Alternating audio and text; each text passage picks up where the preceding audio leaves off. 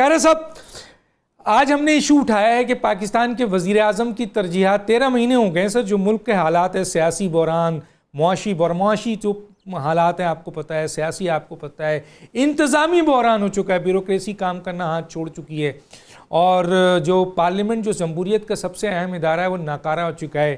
اور اس وقت سر، عوام بے روزگاری میں، ٹیکس پہ آپ کے مہنگائی میں، غربت میں مر رہی ہے سر اور خانہ جنگی کے حالات پیدا ہو رہے ہیں۔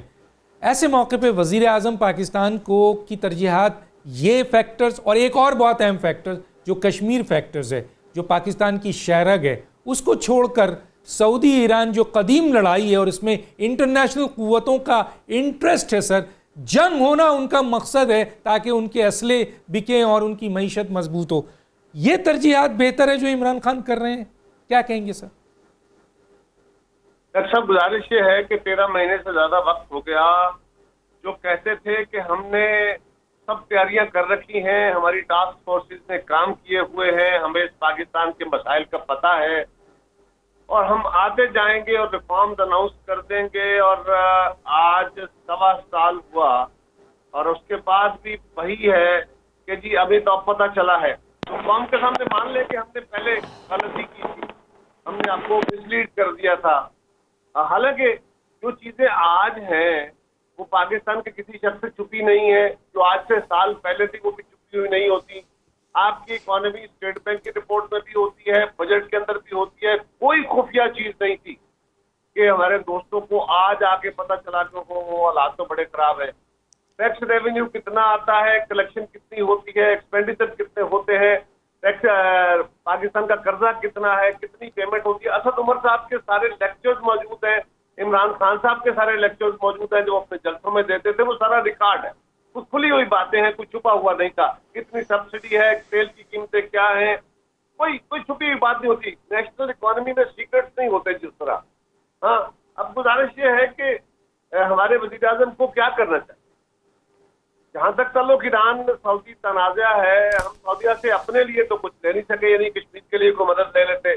لیکن چلے اس کوشش میں اگر ہم سعودیہ، ایران ٹینشن کو کم کر دیتے ہیں، تو پاکستان کا یہ بھی ایک ریجنل مفاد ہے اس لیے کہ پاکستان کے اپنے حالات، اس ریجن کے حالات کے ساتھ لنکڈ ہے۔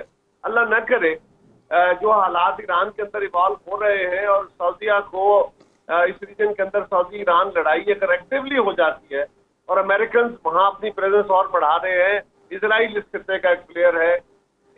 ابھی افغانستان کے اندر پتہ نہیں کیا صورتحال ایوالو ہوتی ہے، کیونکہ ہم حکومت کو چھوڑ کے طالبان کے ساتھ ہیں اور طالبان کو امریکی قبول کر رہے ہیں۔ وہاں سے امریکی نکلنے کو تیار نہیں ہے وہ بارڈر کہیں دوبارہ ہمارے لیے ایک عذاب نہ بن پڑے۔ اور ایرانی بارڈر کو کنٹرول رکھنا کول رکھنا اور ایران اور اسلامی دنیا کے اندر کوئی لڑائی نہیں نہ چھڑے، یہ پاکستان کے مفاد میں ہے۔ اگر ہم ایسا کر پائیں۔ فیسیلیٹیشن تو ڈاکٹر صاحب ہمارے وزیر اعظم نے کہا، میں کوئی سالسی کی بات نہیں کر رہا فیسیلیٹیشن کر رہا ہوں۔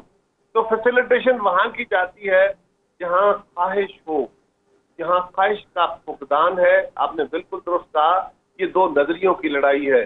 اس لڑائی میں حتمی طور پہ امن نہیں ہوگا، لیکن چلے، یہ کوشش ہونی چاہیے۔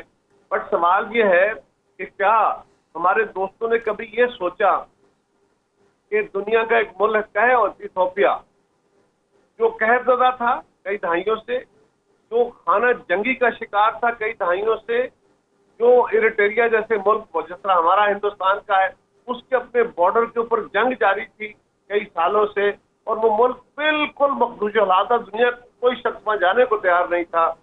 وہاں ایک شخص آیا ابھی احمد، وہ بارہ تیرہ مہینے یا پندرہ مہینے کی حکومت کے بعد دنیا میں اپنے اقدامات کی بدولت جو انہوں نے اپنے ملک کے اندر کیے یعنی حکومت میں آئے، حکومت بنائی، تو فوری طور پہ اپنے ملک کے اندر جو اپوزیشن کے سارے رہنما تھے جو مختلف وجوہات کی بنیاد پہ جیلوں میں رکھے گئے، ان کو باہر بلا کے ان سے بات کی۔ پاکستان اپنے ملک ایتھوپیا کے اندر جاری خانہ جنگی کو ختم کیا، ایریٹیریا کے ساتھ اپنی جنگ ختم کی، ان کے ساتھ سٹل سیٹلمنٹ کی اکانومی کے اندر وہ ریفارمز کیے۔ کہ صرف اس کے اپنے ملک کے لوگ خوش نہیں ہوئے بلکہ دنیا نے اس کی کوششوں کو امن کی اور اس کی اکانومی کی ریوائول کی کوششوں کو اتنا ریکگنائز کیا کہ ان کو ان کی تیرہ چودہ مہینے کی خدمات کے سلے میں امن کا نوبیل پرائز دے دیا۔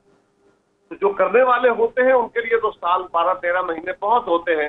اور آپ ہمارے ساتھی ماضی میں رک رہ کے نہیں جی سکتے۔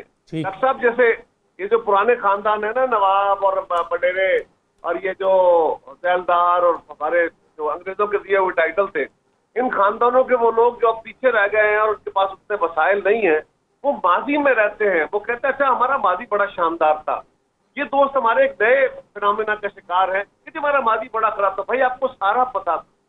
آپ اسی ملک کا حصہ تھے۔ آپ کے وزیر خزانہ جو پہلے تھے ان کو ہر چیز کا پتا تھا موجودہ وزیر خزانہ کو اس سے زیادہ پتا تھا۔ اور آپ کے وزیر اعظم کو خود پتا تھا کس کو پتا نہیں تھا۔ یہ ایکسکیوزز نہیں ہے قوم سے معافی مانگے اور ٹھیک ہے۔ ٹھیک ہے۔ ٹھیک ہے سر